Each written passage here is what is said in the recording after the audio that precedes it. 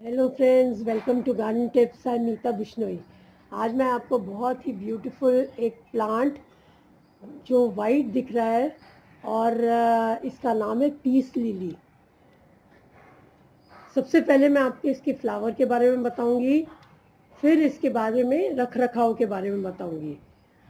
और, इसकी केयर के बारे में बताऊँगी, इसकी लीव्स के बारे में, इसकी कैसा मॉइस्चर चाहता है कैसा फर्टिलाइज़र चाहता है, कैसा सॉइल चाहता है और कैसे कैसे इसकी केयर होनी चाहिए ताकि इसमें फ्लावरिंग अच्छी हो। इन सब चीज़ों के बारे में आज मैं डिस्कस करूँगी। ये देखिए, ये मैं आपको फ्लावर्स पहले दिखाती हूँ। ये फ्लावर्स फ्लावर्स के बारे में बात करना शुरू करते हैं। फ्लावर्स होते हैं इसके लेट स्प्रिंग और अर्ली समर में। और इसमें ये जो केप जैसा वाइट कलर का है, इसको कहते हैं स्पैथ स्पैथ और इसकी वजह से ये स्पैथीफाइलम से आया हुआ है। स्पैथीफाइलम से है और ये जो अंदर है, जिससे इसके सीड्स बनते हैं, वो है स्पैडिक्स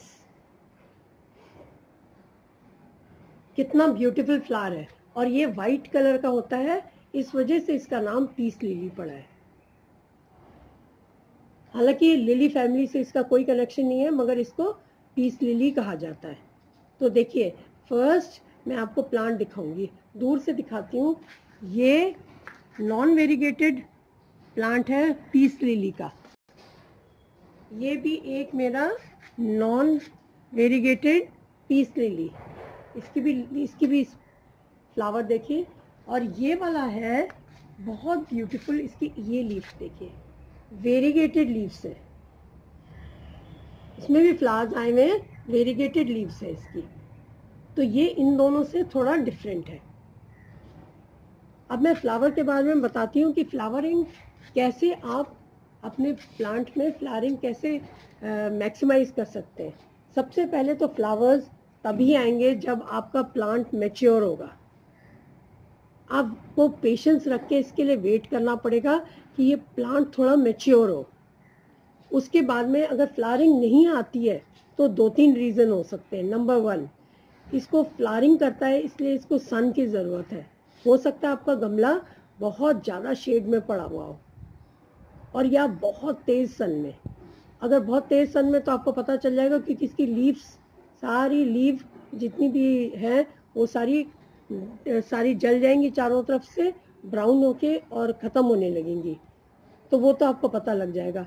अब अगर सन अब बहुत ज़्यादा शेड में तो क्या होगा? इसकी ये लीफ अच्छी हो जाएँगी वेजिटेशन अच्छा हो जाएगा, मगर फ्लावरिंग नहीं होगी। क्योंकि इसको इनडायरेक्ट लाइट चाहिए। बहुत ज़्यादा लाइट चाहिए और इनडायरेक्ट फिल्टर्ड लाइट हो। फिल्टर्ड लाइट कैसे मिलेगी इसको? या तो ग्रीन नेट के नीचे हो शेड के नीचे हो प्लांट के नीचे हो। और सेकेंड रीज़न इसका हो सकता है कि आप इसमें फर्टिलाइज़र अप्रोप्रिएट ना हो। ये बहुत ज़्यादा हैवी फीडर नहीं है। तो इसमें बहुत ज़्यादा फर्टिलाइज करने की ज़रूरत नहीं है। मगर स्प्रिंग में बिकॉज़ लेट स्प्रिंग में इसकी फ्लारिंग होती है तो इसको आपको स्प्रिंग में थोड़ा फर्टिलाइज़र देना पड़ेगा। uh, मैं इसको जनरली लिक्विड फर्टिलाइज़र देती हूँ। लिक्विड फर्टिलाइज़र मैं बनाती हूँ एकदम ड्राइड काउडंग काउडंग मेन्योर को लेके पानी में डिप कर देती हूँ। उसमें डालती हूँ मैं थोड़ा सा नीम खली थोड़ा सा बोन मील और उस समय मैं थोड़ा सा फंगीसाइड भी डालती हूँ स्प्रिंग में और सितंबर में। फंगीसाइड डालने से इसका, क्योंकि ये ह्यूमिडिटी बहुत ज़्यादा लाइक करता है तो इसको ह्यूमिडिफायर में रखिए, या फिर इसके जब पानी डालिए तो इसको स्प्रे करते रहिए इसके लीफ को। और इसकी सॉइल को भी थोड़ा मॉइस्ट होना चाहिए। मॉइस्ट मतलब ये नहीं है कि इसमें बहुत ज़्यादा पानी रुका रहे। पानी रुका रहेगा तो रूट रॉट हो जाएगी। तो थोड़ा सा ऊपर से ड्राई हो, तब पानी डालिए, मगर जब पानी डालें तो इसकी लीव्स को थोड़ा सा स्प्रे कर दीजिए। तो हो सकता है फंगस हो जाए, इसीलिए मैं फंगीसाइड भी डाल देती हूँ।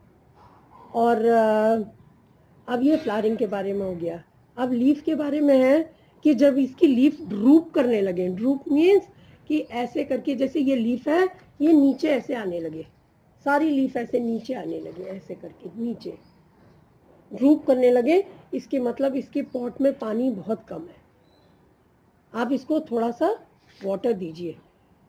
और अगर बहुत ड्राई हो रही है, काली हो रही है साइड से ब्राउन हो रही है तो फिर इसका मतलब है कि ये सन से जल रहा है पौधा। तो ये दो रीज़न हो सकते हैं लीफ बर्न के। और लीफ ड्रूप के पानी बहुत कम है। अब इसकी सॉइल के बारे में। सॉइल इसको वेल ड्रेन सॉइल चाहिए और फर्टिलाइज़र इसको दो तीन सा, साल में दो या तीन बार अच्छे से डालिए। और जब फर्टिलाइज़र डालें तो पहले इसको ड्रेंच करके पानी से फिर उसके बाद में डालिए फर्टिलाइज़र और ये वैसे तो स्ट्रॉन्ग प्लांट है क्योंकि इसके नीचे राइजोम्स होते हैं। इसके नीचे जो ये देखिए, इसके नीचे जो ये है, इसके नीचे राइजोम्स होते हैं, जो थोड़ा न्यूट्रिशन और पानी स्टोर करते हैं। तो ये थोड़ा सर्वाइव कर सकता है।